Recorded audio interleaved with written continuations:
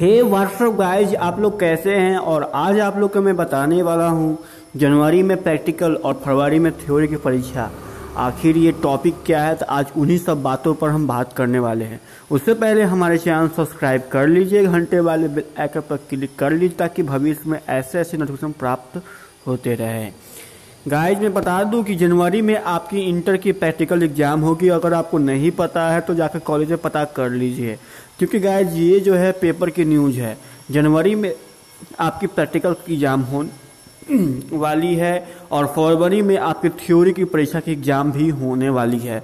ठीक है? इसके लिए आपको तैयारी अभी से ही करनी पड़ेगी। और एक बात गाइज़ और पहले क्या थी कि जिन स्कूलों में लैब नहीं था, उन स्कूलों में थ्योरी या प्रैक्टिकल दोनों हो जाती थी। लेकिन गाइज़ अब ऐसा है नहीं।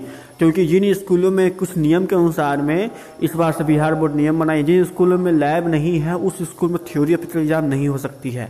उसको किसी और कॉलेज में शिफ्ट किया जाएगा। तो वो आप लोग पता कर लो और जनवरी में आपके प्रैक्टिकल एग्ज़ाम होगी और फरवरी में थ्योरी की परीक्षा होगी, ये चीज़ निश्चित है।